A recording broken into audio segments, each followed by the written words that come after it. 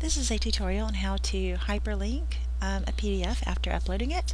Uh, today we're working on the front side of our website and I'm going to go ahead. I've already created a random article and we're just going to create a hyperlink that links to a PDF. So I'm going to go in and art edit this article. So I'm going to click on my little gear and I'm going to go to edit.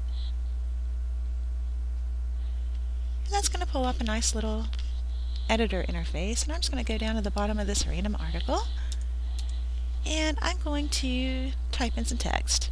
So click here to view a PDF.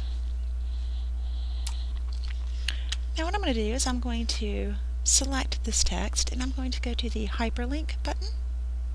Or if I wanted to, since I know I'm already going to do this with a PDF, if I wanted some more options such as creating a little thumbnail of what file type, I could actually go to Insert Edit File.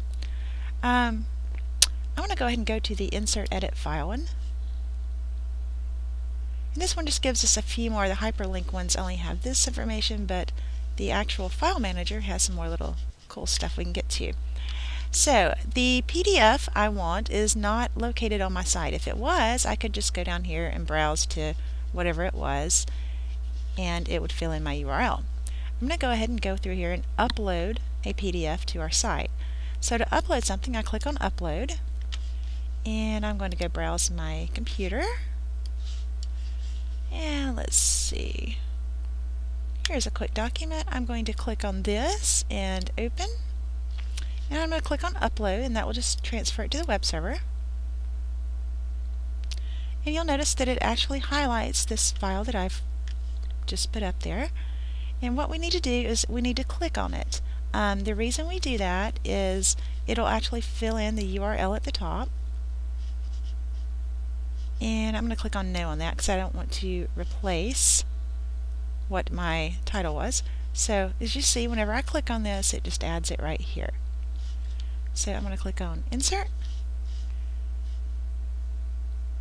And that's just the very basic um, how to add a PDF. So I'm going to click on Save. Now if we went over here, you would see we could open this up and it would open up a PDF. I'm going to show you just a couple other little tricks. There are a few more options. So I'm going to go back in, I'm going to edit this.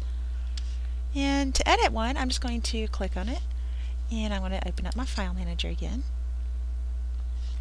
And if I wanted to add a nice little icon, this will show you what type uh, what file type it is. It's easily recognizable.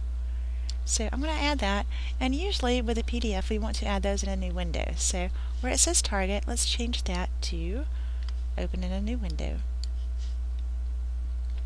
Alright and I'm going to update and I'm going to, as you can see it added a nice little icon out here to the side that kind of gives people a, a visual of what file type to expect. So I'm going to click on save and here's what it looks like. And if I open it, it just opens up my PDF in a brand new tab. Thank you.